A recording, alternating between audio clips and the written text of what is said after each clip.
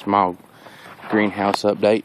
Um, this is the uh, Basjoo banana that a gentleman gave to me. Um, actually, it had started, this piece right here had started growing on the top. And this was all brand new growth. And then we had this weird weather that we've got here in North Carolina going on. And we had a freeze come through, so it's only green back to here though. But uh, this is my first banana plant or whatever. But this was all brand new growth and everything. This is the top leaf. And then it started to die back, so I had to wrap it back up because we've had these weird freezing weathers or whatever. But all in all, the Basjoo doesn't look too bad. So I can't wait to see that pop up. And then that should give me some uh, shade on the greenhouse. Right now, 60 degree weathers looking at 100 inside, and that's with both the doors open on the front and the tops open. So, strawberry plants, um, not looking too bad. You know, starting to see a little bit of growth coming out of the top. We got some leaves and stuff starting and all. So, maybe won't to be too much longer or whatever. We should start seeing a lot more action out of the uh, can grow. I say, you look all the way around, starting to get a little bit of green stuff out of them, so probably won't be too much longer or whatever. We should start having plants or whatever start looking pretty good. Some more crepe myrtles over here. Here's some of the windmill palms that I sell here in North Carolina. Sell a bunch of these. Um, these are the uh, blue hydrangeas that I got. They're actually starting to produce pretty good and all. They started to come out the first time. If you see this one right here, looking kind of burnt, they started coming out like these. These burnt. Come out. We got this weird, freaky weather. We're in the 70s, and then all of a sudden, bam, you know, you're back in 20s at night. So, freezes everything out. There's some more over there. No sign of uh, these right here, I just decided to do asparagus and pots. No sign of them or anything, but like I say, did get a lot of pine needles around the house and everything. There's a palm up here, palm here. I kind of display some of the plants inside my yard and everything. These palms are actually just kind of uh, dug in the ground, and they're still in pots. So uh, what I do is I just kind of kind of fake it make them look like they're planted so people kind of what the things look like now. And then I'll just yank them up and I'll put new plants in the place of them or whatever. But uh, this morning it's a little bit brisk. It's about 70 degrees in here. All the vents are open. Been having to do that for a while. Like I say, we had some burning and everything inside the greenhouse. Um, pinched off some of the tops here. You can see these pinched off where they're a little bit brown. I pinched those off. Um, there's a little, let me show you guys. There's a little leaf right there. I pinched these off. These right here were the first ones that I had. If you've been watching my videos, they were already up to here.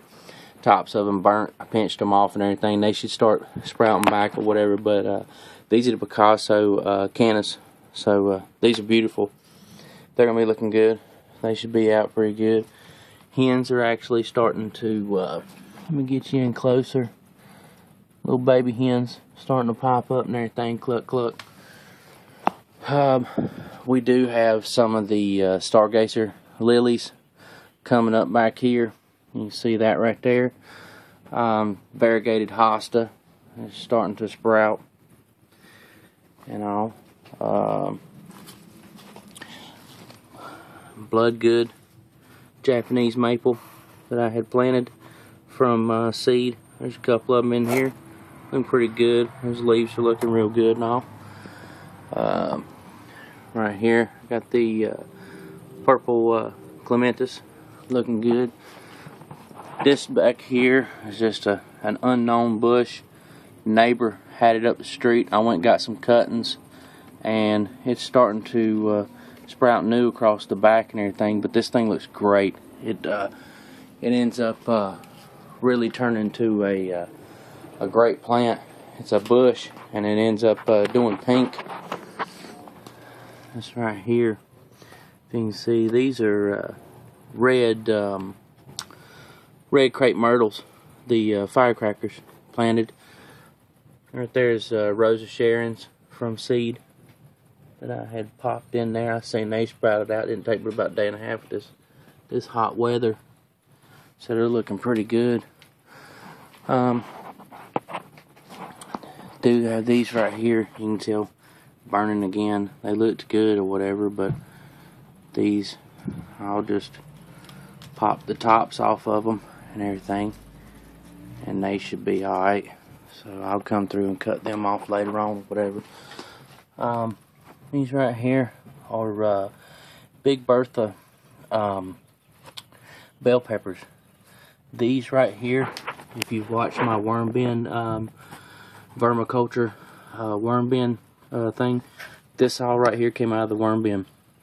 And so far, let's see, 2, 4, 6, 8, 10, 11, 12, 13, 14, 15, 16, 17, 18, 19, 20, 21, 22. And it looks like I've only lost 1, 2, 3, 4, 5, 6, 7, about 7 of them. Looks like I've lost the rest of them. Look like they're going to be pretty good, whatever, but those are bell peppers. This right here is off the Bonanza Peach. I yanked it out from the bottom. What it was doing was uh, sprouting out of the dirt. I kept it covered and everything. I did uh, um, pot it up. Doesn't look too bad. These are Japanese maples off the tree out front. All these pods were full. So uh, right now I'm about getting it to a 50-50 growth rate on these suckers. They're looking pretty good. Some of them actually already have the good leaves. Took the uh, peach out, repotted it up. Gave me a little little water pond there to kindly uh, keep that moist and everything. It's just about lost all its flowers now. Doesn't look too too. It's looking kind of dull, but uh, leaves are coming out pretty good. Hopefully we can get some peaches off this puppy this year. That'd be nice. Um, these are some of the first Japanese maples that I had planted. Really look amazing. They really look good right now. Got some good good color to them and everything. But yeah, so those really look good.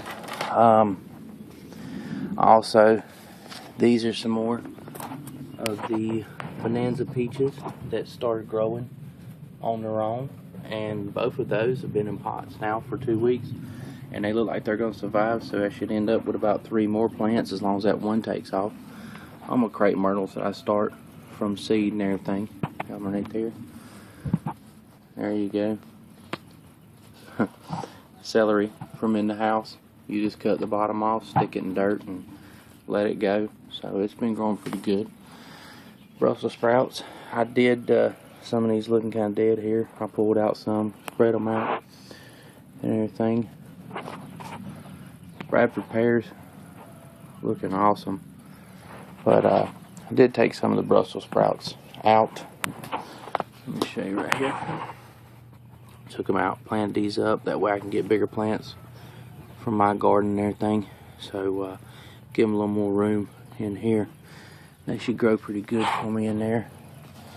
Um, here's uh, plants that we sell. These right here the squash. Squash is looking amazing. Cucumbers looking good.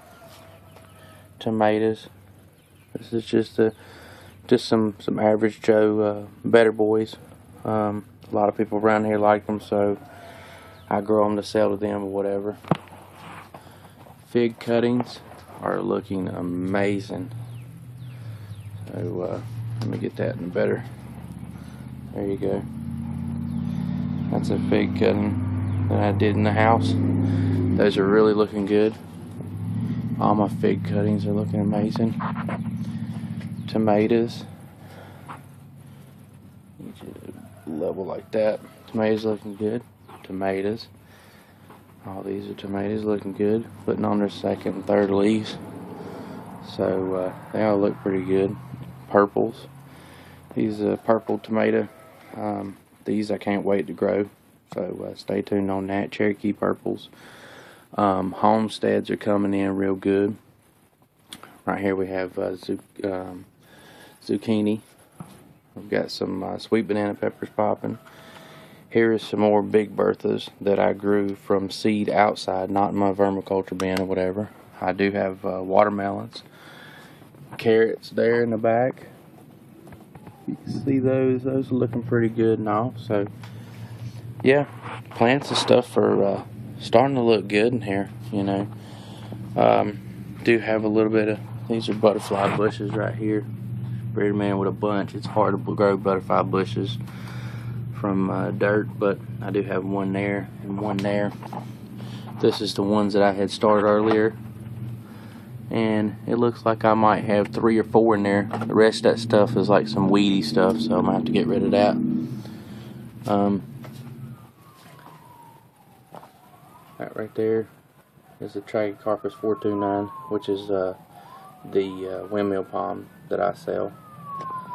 Those are the Washington Robustos, still looking great. And the pineapple tops, still looking good. But uh, gonna get pretty warm here today. Probably getting ready to go ahead and open up the doors because we're right at about 70. So, uh, but anyways, uh, Green 6400 out. Stay tuned.